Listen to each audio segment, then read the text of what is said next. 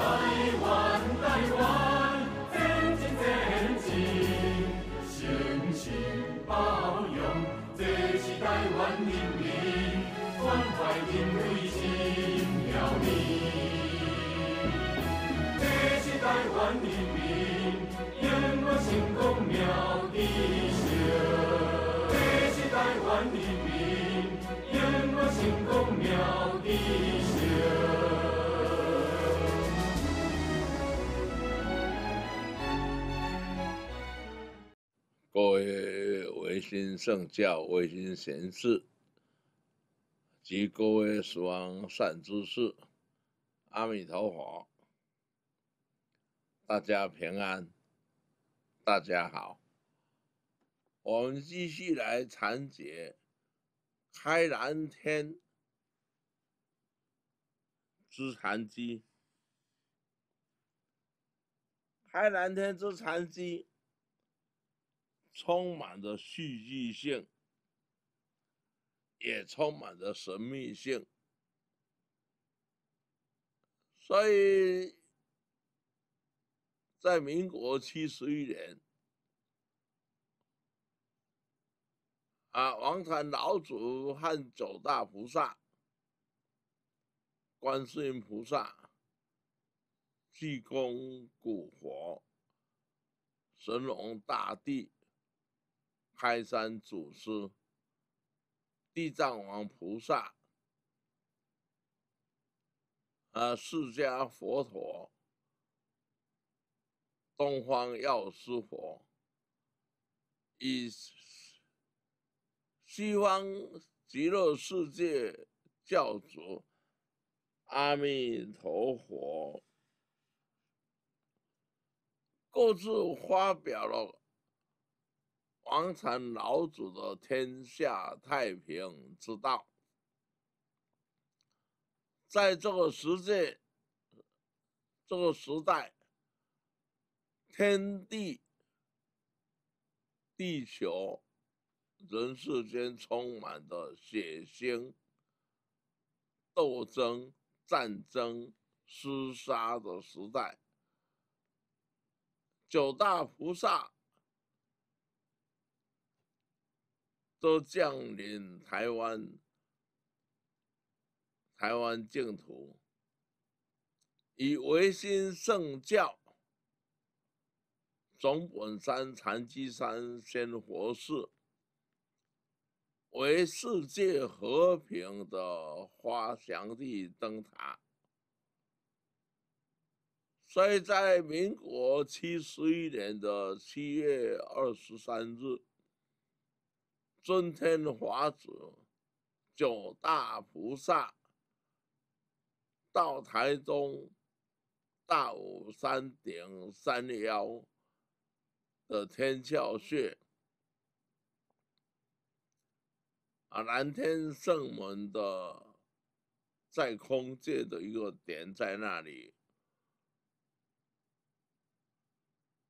啊！九大菩萨共同打开南天门之后，诸天圣神、龙天护法都光降台湾净土。那九大菩萨在玉皇大帝九龙座前会议。商朝王禅老祖的天下太平之道，九大菩萨都提出了妙因缘。那么，在九大菩萨各自传解的妙因缘的时候，九大菩萨都讲完了，最后一位就是西方极极乐世界教主阿弥陀佛，换阿弥陀佛来阐解。第一，叫大家要念佛，可以往生西方极乐世界佛净土。阿弥陀佛会接纳各位灵性回归，希望极乐世界佛净土，啊，受身就留在世间，归还大地。那么要回归极乐净土的时候，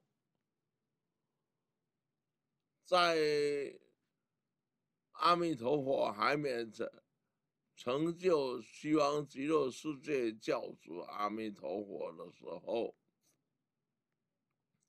他在世间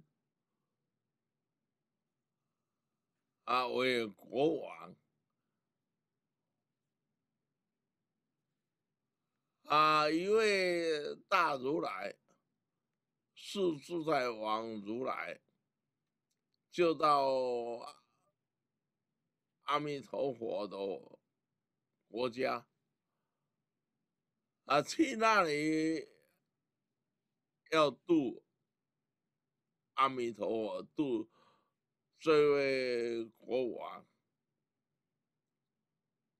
他就在皇宫周围离不远的地方啊，在那边传道。是自在王在告诉大家啊，内心的本性的佛性觉悟，所以是自在王如来在那边做传道修习，刚好一位国王。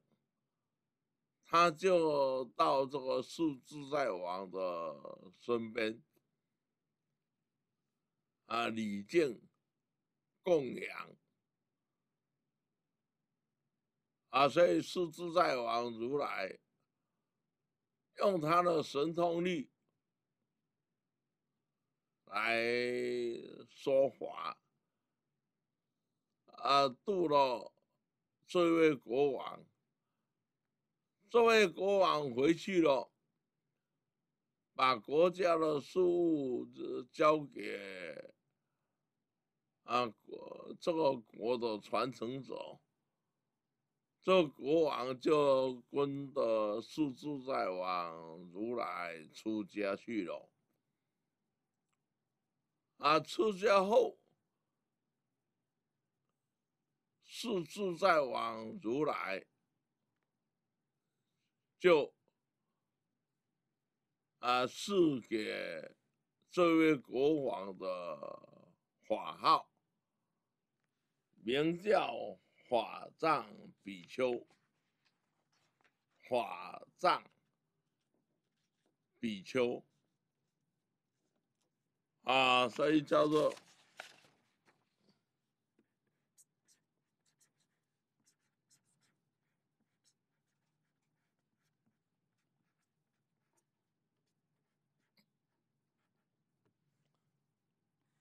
法藏比丘啊，这一位国王就欢喜领受了法藏比丘的名号，然后法藏比丘就悟了啊，这个要。怎么样来修行？法是藏着，啊，是藏在内心里面。所以法藏比丘他就是先向世自在王如来发愿。啊，他要修六波罗蜜，修这个六波罗蜜，就六六度万恒。第一忍住，第二是持戒，第三是布施，第四是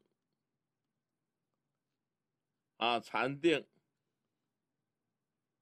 第第五、第四是精进，第五是禅定，到最后波若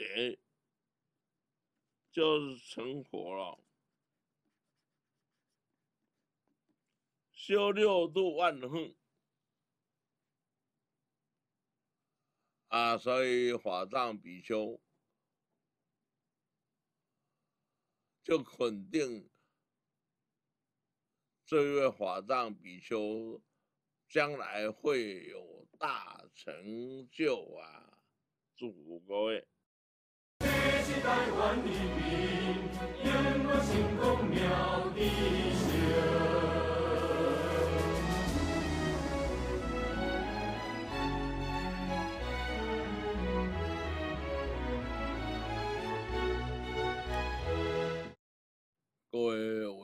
贤士及各位所安善诸事，法藏比丘，他发了大愿，忍辱持戒布施，啊，这六波罗蜜，所以是自在王。肯定法藏比丘啊，自我提出了六个方案，六度万行，面面俱到的心法，所以是自在王如来显神通。就给法藏比丘啊施给两千七百万的考验，课题考验啊，法藏比丘。他所悟到的忍辱，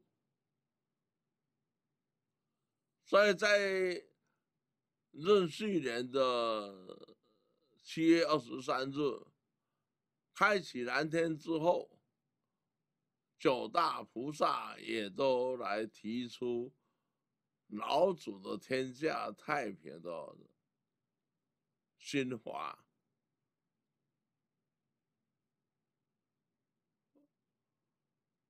释迦佛陀八正道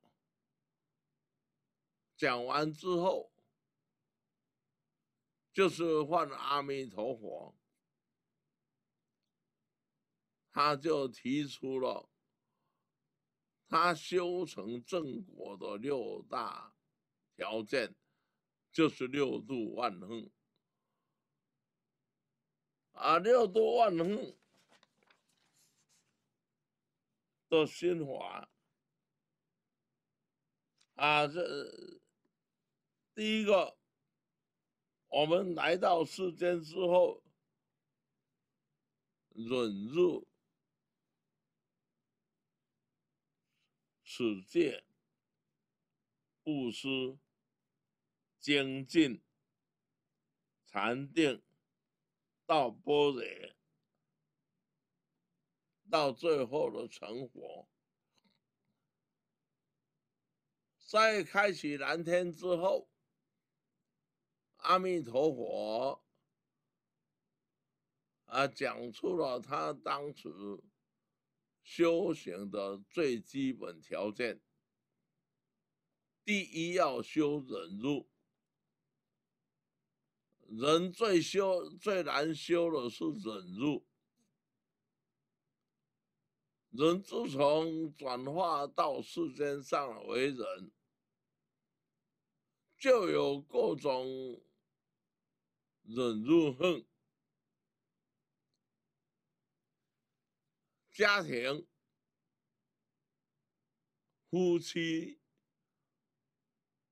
需要忍辱，啊，有的家庭。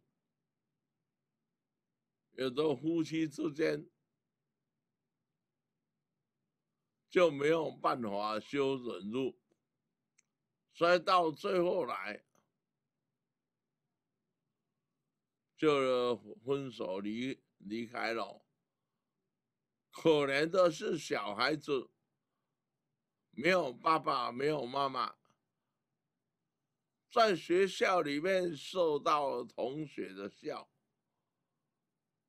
这个也是要修忍辱，但是小孩子不懂得叫忍辱，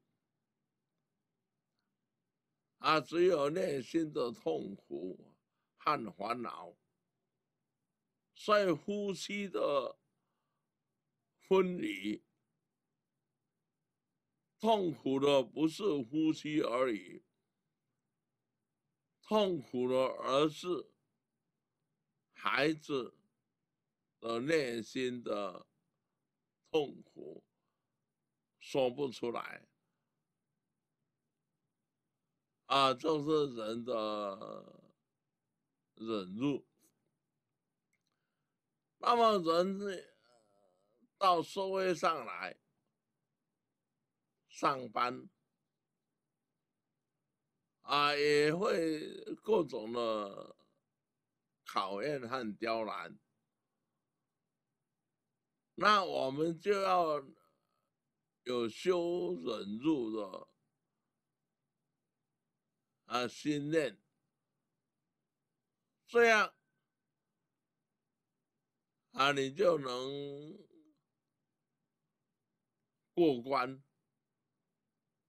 你受到同事之间的羞耻、骂你。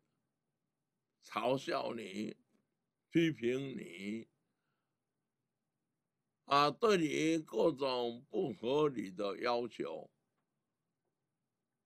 人一定要修忍辱。所以寒山问石头，禅宗的祖师寒山问石头，他说：当有人。嘲笑你、骂你、侮辱你，怎么办？石头他就回答：不理他。啊，到三年后，再过三年，再看他如何。这是修行家。人家会让辱骂你，会嘲笑你，必有累劫业力的因缘。你这一生要反省忏悔啊！再过三年，看你改善的如何，人家就不会嘲笑你了。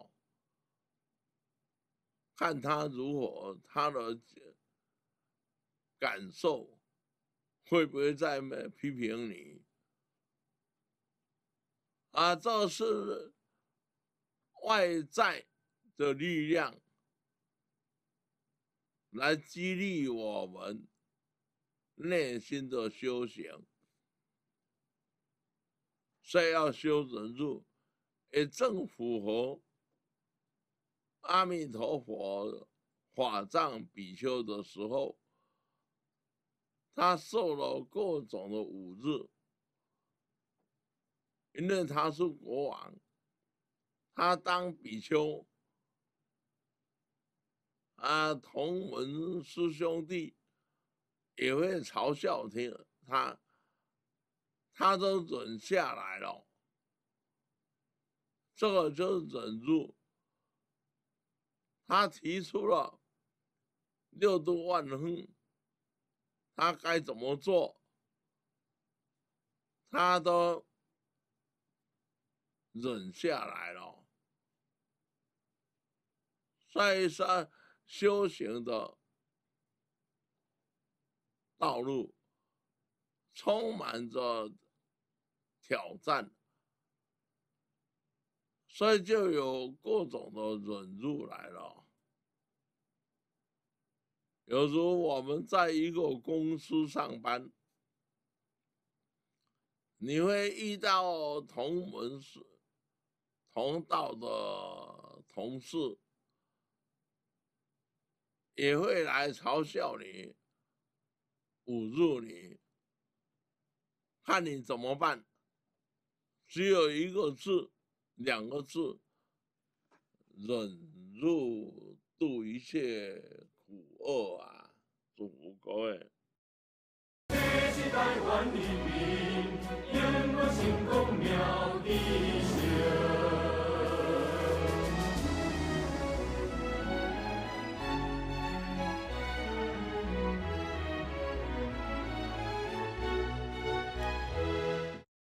为维新贤士同修，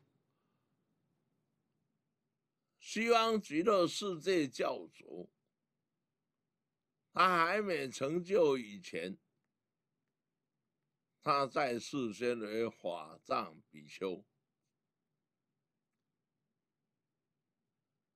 也在过人世间的生活，但是。阿弥陀佛为法藏比丘的时候，是自在王如来责令啊，讲不清说不完的忍辱给他在身上，啊，忍辱。这忍人所不能忍的，入忍人所不能修，修人所不能修的，忍人所不能忍的，这都是修忍辱的上圣功夫啊！法藏比丘。也都接受了各种的给予的忍辱，尤其自己的老师师傅啊，给他的六度万恒修行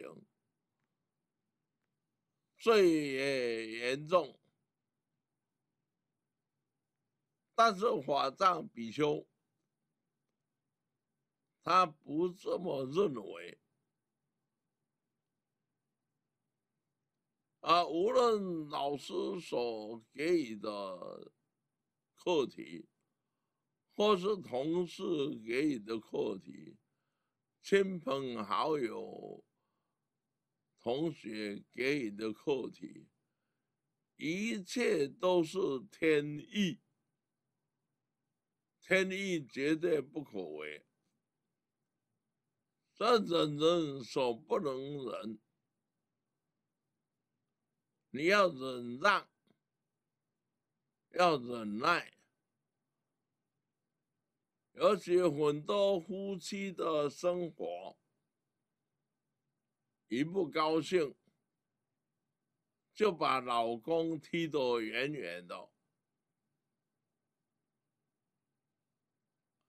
若是老公有修，就会随顺因缘，修忍人所不能忍，检讨自己的过去，然后改善过去的不良行为。这样我们要感恩另外一方。老公感恩老婆，老婆呢要感恩老公。回顾在民国八十一年搬到仙佛寺，有两三位小姐穿的很漂亮，啪里啪里的。我戴着帽子、围巾围着在工作。啊，三位小姐看到我在工作。问我说：“请问张老师在哪里？”啊，我说我就是。啊，我要问你，其中一位比较漂亮的小姐，她说我要跟老公离婚好不好？我修修道走。绝对不能乱听一方的意见。我问他为什么要离婚呢？我老公没有气质，老公不会赚钱，理由讲了将近有十个。啊，老公不会体贴啊，我就说你忍耐好了，忍耐到最后，你就会了解老公的真面目。他回去了，他就开始跟老公提出要离婚，在家里大吵。小吵的，吵了三天之后，写下离婚协议书，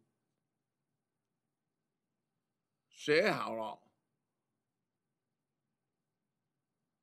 啊，老公就也签了字，他也签了字，老公开始反目起来了。我们已经离婚了，这栋房子是我的名义，我的名义买的，孩子是我生的，两个孩子是我生的，所以你要搬出去了。这下傻了，这个太太傻了，她很喜欢这两个孩子。老公叫他搬出去，你要照看孩子，我可以给你看。啊，房子一个房间是我也是我的，我租给你一个月多少块？但是你要看照顾孩子没有钱，啊，所以愣住了，傻了，就很后悔。第二天就跑来仙佛寺，我了说老公，问他签离婚协议书了，但是老公给他的意见，他不能接受。原来住的房子不要钱。老公问他一个月收多少，作为照顾孩子的费用，啊，他很后悔。我说再问我怎么办？你们是到户政所书所？啊，签字了没有？他说我还没有签字，还没有去办写户口，离婚的户口。我说那好好办，我们休息一下，再向各位讲解。台湾人民，永远成功妙智胜。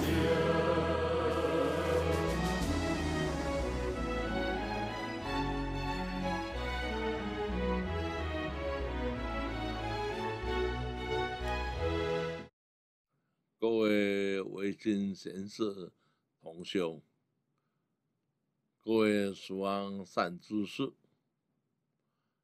人在世间上能认识，都是非亲即友，尤其作为夫妻。是千年修来的好姻缘，但是有的人的家庭就很容易，呃，发生了很多不愉快的事，有的是从外面听进来的消息。给他的意见，我们就心不定，就依照朋友讲了，回来大吵大闹，终于离婚了。离婚之后才后悔呢。所以我所讲的这一位夫妻，我说你还没到户政事务所去。办离婚手续，那还没，那好办。你找一天的时间，跟老公去办离婚手续。当你的离婚证书、老公的离婚证书拿出来，要给户政事务所办。你赶快把两张离婚证书拿来撕掉，撕了碎碎了，然后抱住老公，我老公我很爱你啊，啊，就是亲老公，老公会莫名其妙，啊，第二天回去他就去。南城户主事务所去办理离婚手续，他就按照我教他的方式，啊，把这个离婚证书拿来撕了碎碎的，抱着老公，他老公，我爱你啊，啊，我们啊重新就好。啊，孩子重要，啊，你的工作很重要，我的工作也很重要，因为他的太太当保险的上班族，啊，一天到晚在外面所认识的男人，都西装笔挺的，不像老公。穿的邋里邋遢，啊，胡须不刮，吃槟榔的，啊，面部不修饰，所以老婆当然就会认为老公不好。而且老公是做钢铁业的施工业，啊，出去所接触的客户都是比较率性，在日久养成习惯了，尤其回来夫妻。啊，本无事，而老婆就开始挑剔，制造各种的理由要来离婚。而以上这位老公，呃，使出杀手锏，要他搬出去，孩子他要照顾，租房子要钱。原来他是房东，现在变成啊房客，所以回来了之后，两个又和好了。有一天，小朋友要开智慧，夫妻。带着孩子来开智会，看到我老公，他师傅谢谢你。啊，原来老婆就是你渡他，啊，让我婚姻美满了，孩子有家了，有父母了。啊，夫妻生活重新改头换面，所以这位女士跪着向我磕头，说她错了，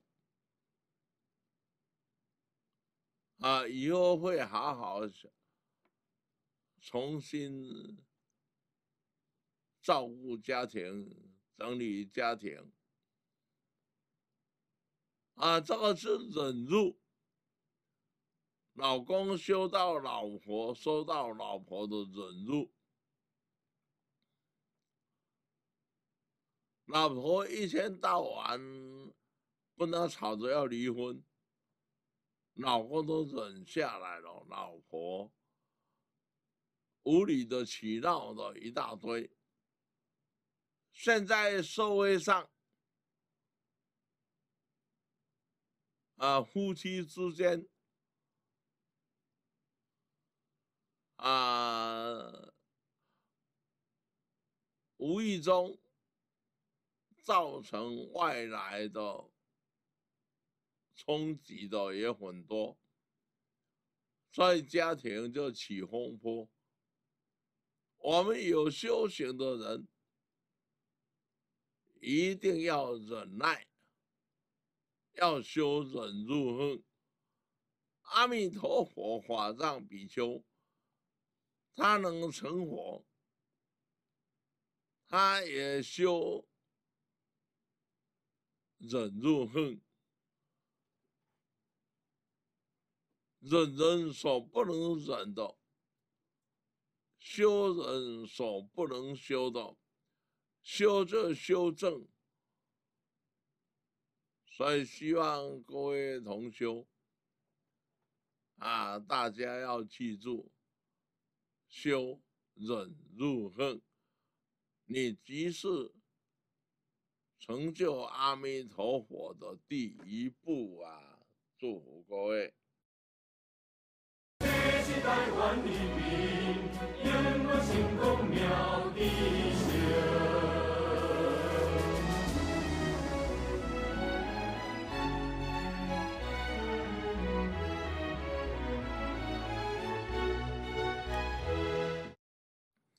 各位维新圣教易经大学所有贤士同修及各位十方善知识，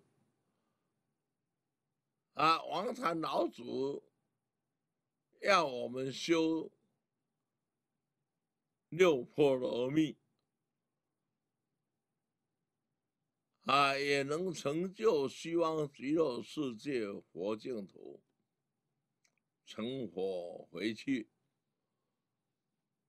那王禅老祖在勉励我们大家要修三波罗蜜。三波罗蜜修心、修口、养灵。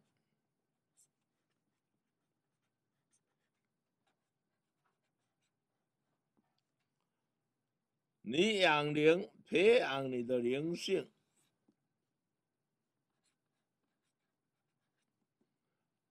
啊，你要到哪一个天界？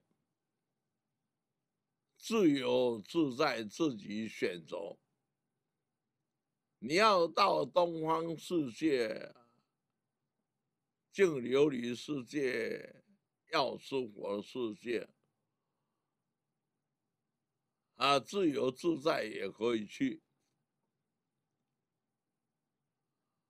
啊，你要。到西方极乐世界，阿弥陀佛的世界也可以去，所以阿弥陀佛他提出了六度万恒、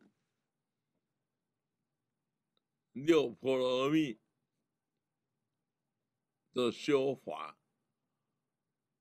人人可修，不是人人不可修。尤其以六度万恒用在一生，啊，这个妙法就六度六波罗蜜修忍辱。啊，我们维新圣教的维新弟子，当你遇到不如意的时候，一定要忍下来，不要蹦蹦跳跳，到处骂人，相互冲突，等到。事情过后，真相大白，你就没有面子可以见到对方了。在本维新圣教的修行道场，在易经大学的修行道场，啊，都。会看到微信弟子常常起冲突，只是没有拿刀和拿枪而已，而用嘴口舌之辩。骂人家骂了一无数次，人家也静静的接受你的辱骂。另一方修忍辱，一方就打拳头打过去。过了几天。同修看我没有讲话，啊，师傅你怎么不讲话？任由弟子去冲突打架，我这是他们前生的事情。还好他们打架会到道场来打架，不要在外面打架。在道场打架，只有痛的而已，没有生命的危险。